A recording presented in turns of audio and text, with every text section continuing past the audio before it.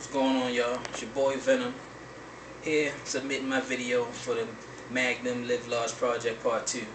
Now I'm going to take a different approach on what it means to live up to the gold standard, so check. A different freak every day of the week. I had more in between the sheets than Ronald Isley. And it never surprised me how I can say high speed and get the head in bed in three days precisely. Damn it.